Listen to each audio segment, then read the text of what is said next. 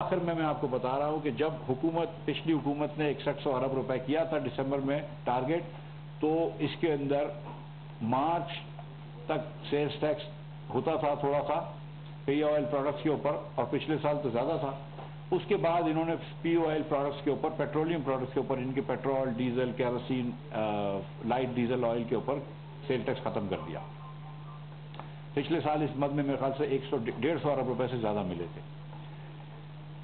जब हमने ये खत्म कर दिया तो पिछले चेयरमैन से भी मेरी बात हुई थी और बड़ी रीजनेबल बात उन्होंने कही थी कि मिफ्ता साहब, हम अगर आप सेल्स टैक्स नहीं लगाएँगे पेट्रोलियम प्रोडक्ट के ऊपर तो मैं इकसठ सौ अरब नहीं कर सकूँगा। आप सौ अरब रुपया टारगेट का कम कर दें और ये चेयरमैन ने भी बात की थी। मगर अल्लाह ताला की मेहरबानी से रिकॉर्ड रिकॉर्ड रिबेट देने के बावजूद न सिर्फ़ इन्होंने इकसठ सौ अरब रुपए, जो कि शहबाज शरीफ साहब ने इनसे कहा हुआ था कि तुमने इकसठ सौ अरब पहुँचना है जबकि मैंने आईएमएफ को मैक्सिमम लिखवाया था, वो साठ, छह हज़ार, पचास अरब रुपए लिखवाया था। न सिर्फ़ ये इकसठ सौ अरब पे पहुँचे, उससे बीस अरब रुपए तजावुज करके गए थे। और मैं जब उनके दफ्तर कल गया था तो उन्होंने एक दिन पहले खुद किसी से लिखवा लिया था कि मैं बीस अरब रुपए तजावुज करूँगा। तो अल्लाह ताला ने इनका अहद पूरा किया, अल्लाह ताला ने जो इन्होंने सोचा था, वो इन्होंने करके दिखाया है। सो मैं मैं सच्ची बात है कि मैं बहुत मैं बहुत ही खुश हूँ कि चेयरमैन साहब ने अल्लाह ताला की मेहरबानी से वो काम करके दिखाया जो इस इस मुल्क की तारीख में नहीं हुआ है कभी।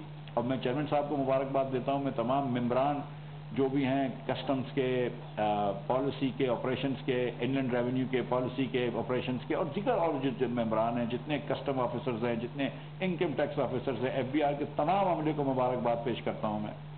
और मैं खास तौर पर अपने टैक्स पेयर्स का शुक्र अदा करता हूँ, शुक्रिया अदा करता हूँ जिन्होंने ये दिया।